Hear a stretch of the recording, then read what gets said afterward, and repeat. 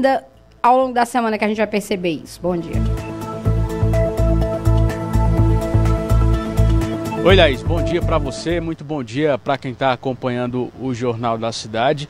Eu, pelo menos, ainda não notei, viu, Laís, nos postos de, de combustíveis esse, esse aumento, essa alta, mas já teve aí uma grande rede de combustíveis sinalizando que após essa medida provisória os preços tendem a aumentar né, nesta semana. E a gente sabe que quando aumenta o combustível, é quase que um efeito dominó, e isso acaba afetando todo o resto da nossa volta, né?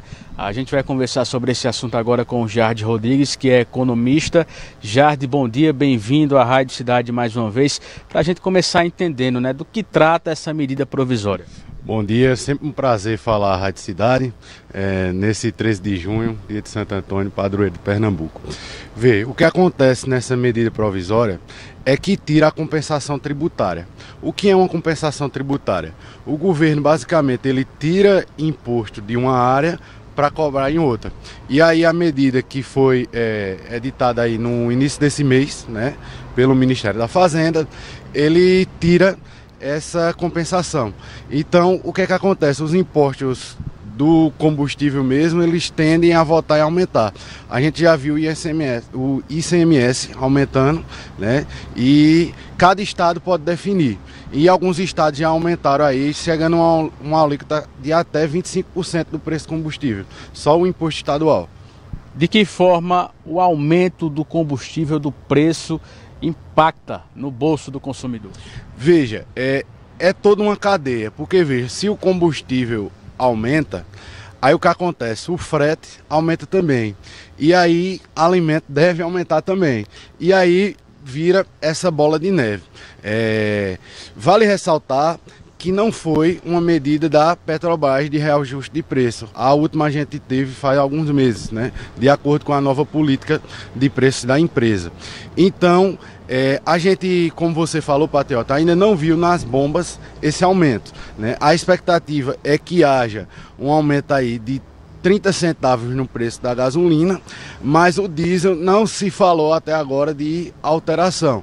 Então a gente tem que torcer para que realmente não haja essa alteração no preço do diesel, porque aí a gente não vai sentir tanto impactado nos produtos.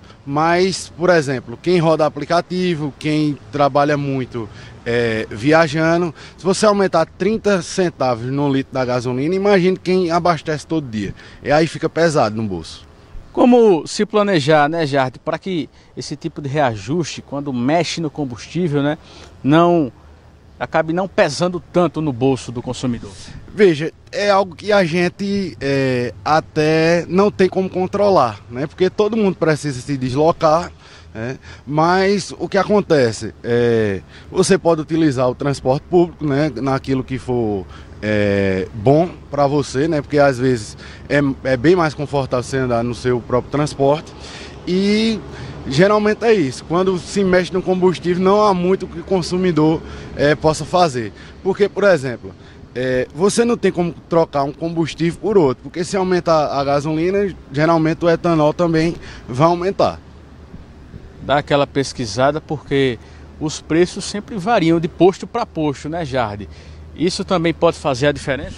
Isso, embora varie muito pouco de posto para posto, principalmente dentro das cidades, mas sempre tem aí uma variação. Então, você pesquise direitinho qual é o posto que está com melhor preço, verifique também a qualidade do combustível, porque isso afeta também na economia, e aí você sempre abastece naquele posto que tá, esteja com preço melhor, porque aí você vai conseguir alguns centavos que fazem a diferença e você pode utilizar esse dinheiro para fazer outra coisa.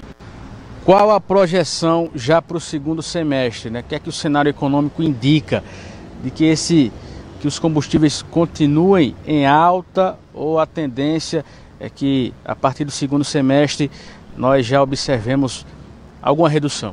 Olha, a tendência não é nem de alta né, nem de diminuição dos preços, é de uma estabilidade. Né? A gente viu que a Petrobras não mudou né, a, o preço né, desde o do início do ano ali e a tendência é que fique aí né, para o final desse ano 2024. Agora a gente tem que torcer realmente para essa questão da carga tributária que é o que impacta principalmente aí no combustível. Se a gente vê, por exemplo, é, a Petrobras ela exporta combustível para um, alguns países vizinhos. E nos países vizinhos, você tem aí um combustível que é quase metade do preço brasileiro. Aí você se pergunta por quê? É devido à carga tributária. E aí não só uma carga tributária federal. Cada estado, como eu falei, tem sua autonomia para definir o ICMS. E aí o, o preço da gasolina pode alterar de estado para estado. E aí fica a dica, né? Quem trabalha aqui pertinho, por exemplo, Paraíba, Alagoas, e o preço esteja menor, talvez valha a pena abastecer lá quando estiver em viagem. Muito bem, obrigado pelas informações, Jardim Rodrigues, economista, e a gente segue aí acompanhando, né, Laís? E torcendo para que esse reajuste não chegue de imediato nas bombas, porque a gente sabe, né, que combustível pesa no bolso. Eu volto com você. E fazendo conta, patriota, para caber tudo no bolso no fim do mês, porque o coitado do pobre não tem um dia de descanso. Mas é isso, a gente vai trazendo outras atualizações sobre isso, né? E até outras dicas de como você se adaptar a essas variações de preços. A gente vai mudar de assunto agora, gente, porque ontem